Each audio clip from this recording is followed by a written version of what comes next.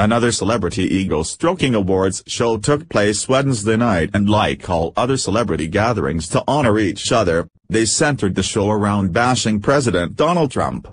This is expected in liberal Hollywood since stage presence always seems to present the opportunity to cause political chaos in front of the entire country. However, red-blooded Americans had hoped for more respect out of their favorite country music stars who don't typically go down this liberal path of trashing the president. The hosts of the 51st Annual Country Music Awards, CMA, were warned about bringing politics into their awards presentation and they didn't listen. Now, they're suffering some massive consequences for it making the entire show about poking fun of our president. It's one thing for liberal actors and rappers to make their awards show about hating on Trump since their face base agrees with their disrespectful views. The same can't be said for the majority of country music fans who are typically conservative and support our president and appreciate what he's done to make America great again, as he promised he would.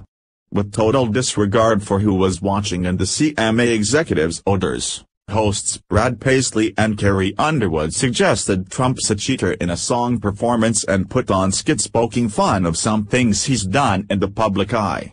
They may have thought they were pretty clever but they aren't laughing now, just 48 hours after making idiots of themselves on stage at our president's expense.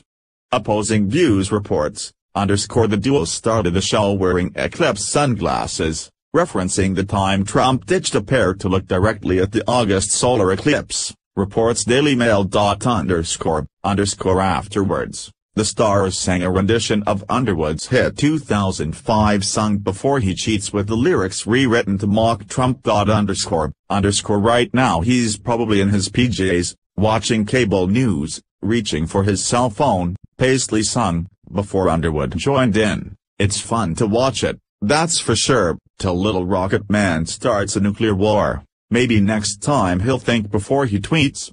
Underscore, underscore the duo's antics came despite a memo the Country Music Association sent to the media prior to the show, requesting that journalists avoid discussing the Las Vegas tragedy, gun rights, political affiliations or topics of the like in their reporting on the show, according to the Nashville scene. Underscore, Paisley didn't just go against the association's request with his anti-Trump antics, he was quick to condemn it as well and do what he wants.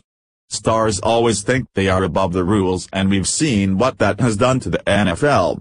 Now, the country music industry could soon face the same fate, or at least these two singers for starters underscore Paisley and Underwood warned they would pull off such jokes ahead of time despite the Country Music Association's desire to make the show apolitical, insisting that they weren't making political statements. According to ABC News. Underscore, underscore we've always said that we want to make fun of things that are funny, Underwood defiantly announced before the show.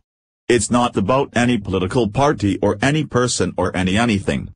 It's just about making fun of things that are funny. Underscore, just as furious fans have turned every football game off, they did so to the CMAs in an immediate reaction to their insulting acts to the man they voted for and are proud of. Underscore opposing views underscore caught some of the reactions that filled the internet as real-time ratings for the awards show began to drop from the mass exodus of offended country fans. Well even the Hashik Mayods has to open up by mocking the president, wrote one person on Twitter. Time to find something else to watch that won't involve politics. So very disappointing that the CMAs brought politics to the show, said a commenter in Daily Mail's comments section. I won't watch again, nor support you with my money. As Trump supporters publicly expressed their views, liberals were quick to condemn them in support of the show's sickening message. Mocking. One commenter questioned of an accusation a former fan made of the host's act. Hardly. It was all in fun and it was funny, unlike the nonsense you see out of the idiots in Hollywood. There was nothing mean-spirited about it. That was a tasteful and funny satirical performance. Added another. Nothing wrong at all. Happy to see country music artists speaking out about this vile, atrocious administration. Commented another. Country music fans are the ones hurt the most by those awful policies handed out by Original. Impeachment coming soon. It's disturbing that not a single awards show in the eight years Barack Obama was president ruthlessly mocked him, as almost every one of them in the past 10 months of Trump's presidency has. There would be outrage for days if the tables were turned on this. These country stars didn't listen to the warnings from their show association, but more importantly, they didn't learn from the fallout of the NFL from pissed patriots and now their industry could soon pay a similar price.